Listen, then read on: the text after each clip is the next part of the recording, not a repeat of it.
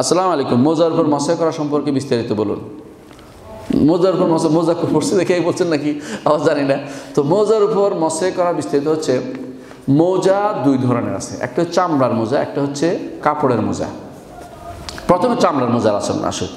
চামড়ার মোজা রসুল্লাহ সাল্লামের যুগে এটাকে বলা হয়তো খোফ। কি বলা হয়তো? খোফ।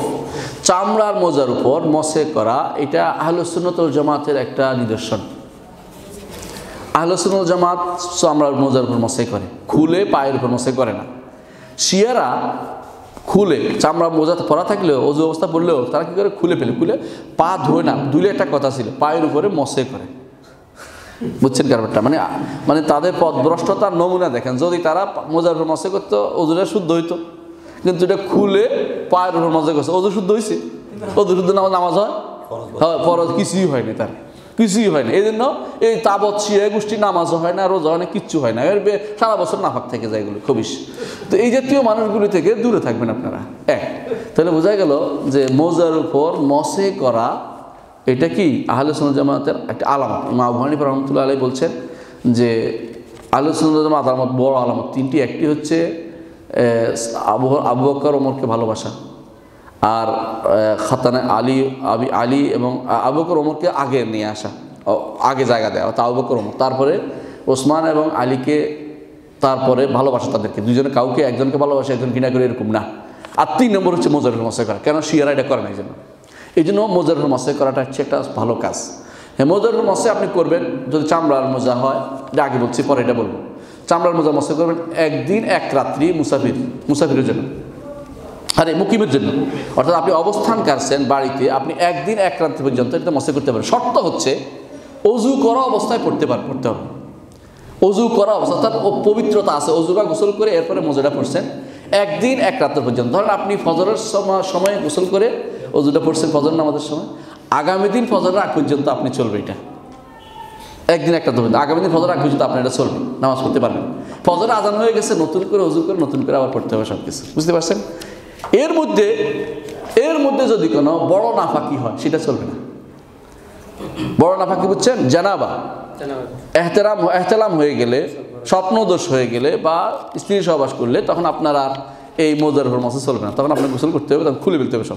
কিন্তু এর আগ পর্যন্ত ঘুমিয়ে গেছেন বাথরুমে গেছেন অজু করছেন কোনো কারণে বেহস হয়ে গেছেন বা অজু চলে গেছে অজুর ভাঙ্গর কারণ যেগুলো সবগুলো হয়ে গেল এগুলোর কারণে আপনার আর এদিকে তাকাতে হবে না, এদিক ঠিক আছে। মানে ওজুর পায়ের মোজা ঠিক অজু ঠিক আছে। উপরের দিকে অজুটা করলে পায়ের উপর দিয়ে মশে করে নেবেন, ব্যাস, হয়ে গেছে। মশে করার নিয়ম হচ্ছে এটা বলে দেই, চার আঙ্গুল, এই চারটে আঙ্গুল দিচ্ছে না? চার আঙ্গুল, পাঁচ আঙ্গুল, এইটা নিয়ে এইটার উপর দিয়ে টেনে নেবেন, নিচে না, উপরে। উপর দিয়ে টেনে নেবেন। এই চারটে আঙ্গুল উপর দিয়ে টেনে নেবেন ইয়ার উপর দিয়ে, মোজার উপরে টেনে নেবেন, ভিজা ভিজা আঙ্গুল, এমনি টেনে নেবেন বাস আলহামদুলিল্লাহ। যথেষ্ট। আপনার জন্য হয়ে গেছে। আলী রাজিউল্লাহ আনহু একবার, আলী রাজিউল্লাহ আনু বলেছে, যদি কোনো তিনবার তো ভিজেই যাবে, তো তার ভিজানো ভালো ছিল।